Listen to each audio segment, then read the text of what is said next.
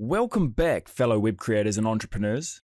In this tutorial, I'm going to cover how to recover missing panels in Adobe Premiere.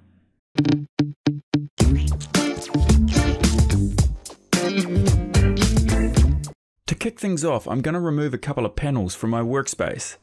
I'm going to remove the Effect Controls panel and the toolbar. To get any missing panels back, simply go up to the Windows menu and find the panel that you're missing. In this case, mine is Effect Controls. Simply click on it, and there you have it. My Effect Controls is now restored. But bear in mind that if you want to see your controls for the video footage that you're wanting to edit, simply click on the video footage in your timeline, and then you'll see your Effect Controls. In my case, I'm missing my toolbar too, so I want to go back up to Window, and then I'll go down to the bottom and select Tools. This will restore my Tools panel, but you might find you have to resize it back to its normal size.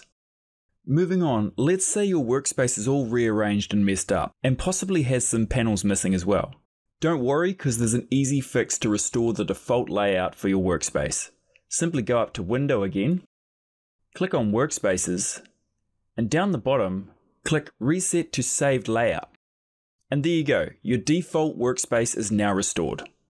And that's it for this tutorial. I hope you learned something new. Thanks for watching, and I look forward to seeing you again soon. Bye.